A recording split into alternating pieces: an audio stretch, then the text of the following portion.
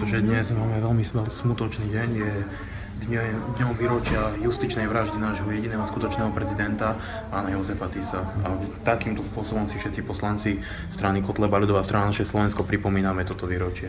To vy... smutný deň v histórii, ľudo, histórii Slovenskej republiky. A vy ja som sa k to predsa vyjadril a všade to bolo zverejnené vo všetkých rôznych médiách. Ja si o holokauste nemyslím nič, opakujem znovu. Ja nie som historik a nemôžem sa odborne vyjadrovať k každej téme pred 70 rokov, to znamená...